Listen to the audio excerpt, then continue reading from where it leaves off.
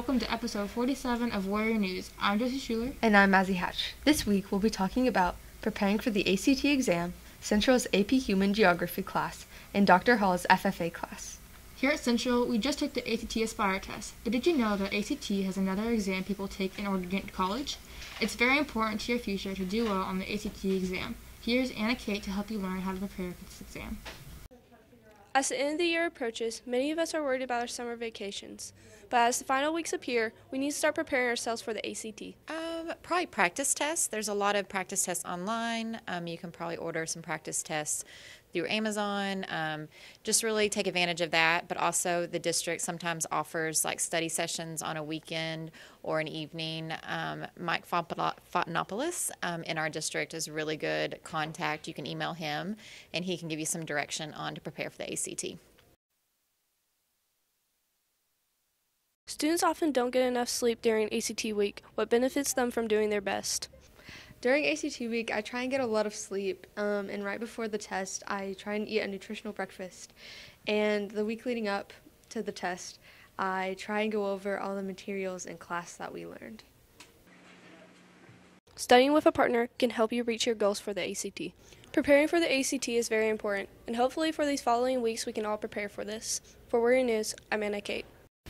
Thanks, Anna Kay. I took the ACT last year, and it's very important to be prepared. Me too, and I agree.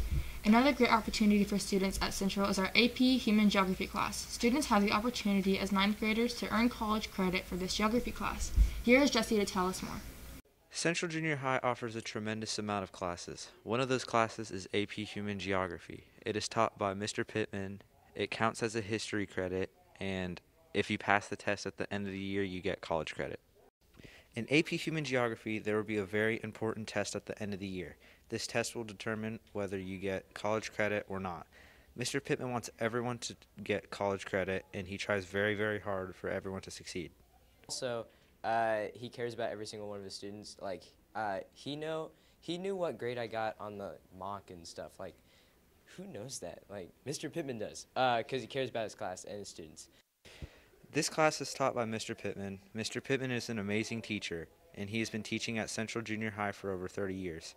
He works very, very hard because he wants all the students to succeed in his class and receive college credit. So, why should ninth graders take AP Human Geography?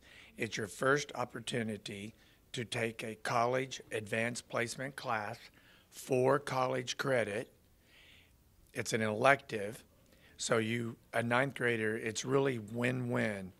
Okay, so you get your first AP experience. You learn lots of new vocab to help you in your future AP classes. Overall, AP Human is a great opportunity for everyone, and it is worth all the hard work. For Warrior News, I'm Jesse Salcedo. Thank you, Jesse. Geography is a very important class and is a great opportunity. Next up is Dr. Hall's FFA class. Here's Skyland to tell you more. Agriculture is a good class to take because you can be an FFA and it teaches you about the environment. FFA teaches you about livestock in many different ways. For example, you can participate in many different types of animal shows, or you could even learn how to judge the animals. In agriculture, you work on bucket gardens and just building gardens in general you also learn about different animals and um, yeah, it's really fun. Agriculture also teaches you a lot about the environment, including how to grow and take care of different plants. Eighth grade ag teaches students about agricultural literacy. In other words, when you take this class, you learn about where your food comes from and how it gets to your table. And you learn about the importance of farmers in this country what a lot of people don't realize is that although we depend on farmers, we don't think about farmers depending on us.